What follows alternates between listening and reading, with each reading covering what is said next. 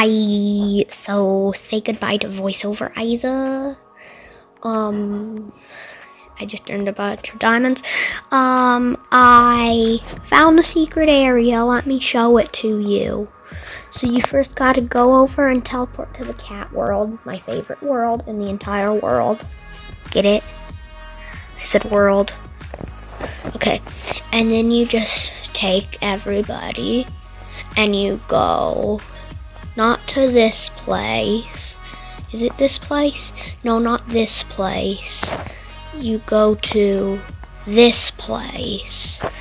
Behind the secret waterfall thing, there's a secret. Yes, see, there's a button thing. There's a door. And it costs 5 trillion. I need. It's so expensive. Yeah, so I won't be showing you that today, but there's an update in hardcore mode, so I'm going to show you that. And there was also a bunch of quality of life updates. I'm actually a big fan of this update. I think it will really help. Yeah. And yeah. So in hardcore mode, apparently I have 10 I can equip 10 pets. But apparently in hardcore mode, it doubles that. So you can equip I could equip 20 pets. And the max amount of pets that you can equip in hardcore mode is 42 with all the game passes and stuff, but I don't have all of them, so sorry. And see, 20, 20 pets. Now I'm gonna equip my pets. Oh, 20, I have so many pets. Okay, I'm gonna go over to Ancient Island. Down here, I'm gonna go to Ancient Island and see how fast I can break the big chest. Uh, I'll just go through the portal. And I'm wondering what else there is. Is there new shop stuff? There probably is. Oh, oh wait, there's never been anything in this um little place and I wonder if there's anything here now. Nope. Gotta check back soon. I'm trapped. Um, I'm gonna just teleport out of here.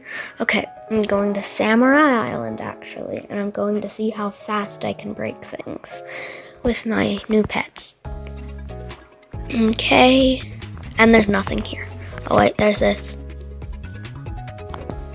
Let me turn my pet sending to all that could help. There. Go. One tap. Will this be easier? Whoa. This is so much easier. I can grind now. See, the best way of grinding hardcore mode is you can act you change pet sending to single and I'll send one here, one here, one here, one here, one here, one here. They can't be two good pets or else I'll break it immediately, so I'm gonna go no pets. I'm going to actually equip pets that aren't hardcore, like these pets I got from the Halloween event.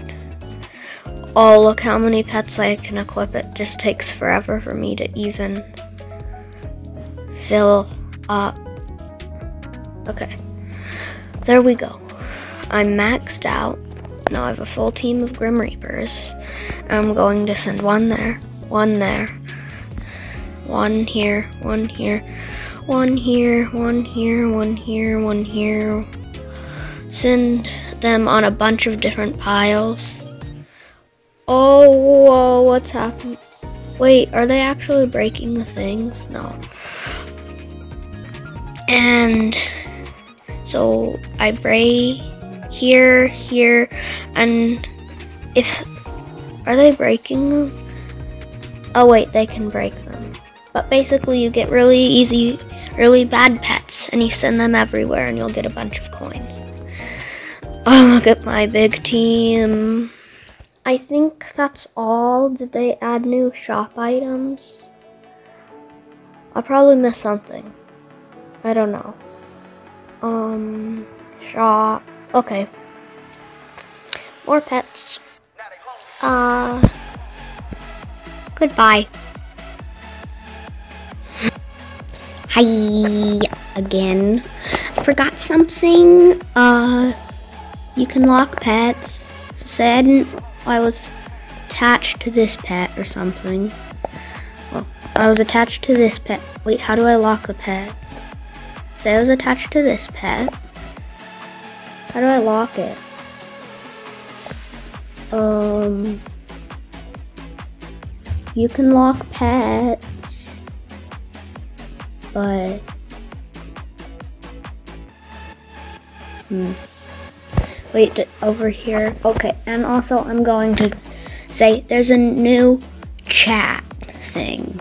And I'm going, oh, there's a new trading chat, and I'm going to say sub to Froggy Isa on YouTube, which you should do. Oh. I'm gonna say, oh. Hashtag. Things can hashtag. Okay, so that's the ch trading chat, and there's some way that you can lock pet. Oh, here. Here's the lock. Okay, so that pet is locked, and now I can't trade it or put it in my bank. And it's saved, which is a really handy feature. And I can always unlock it whenever I want to. So yeah, I just wanted to show you that, that I forgot about. That's mainly the entire update.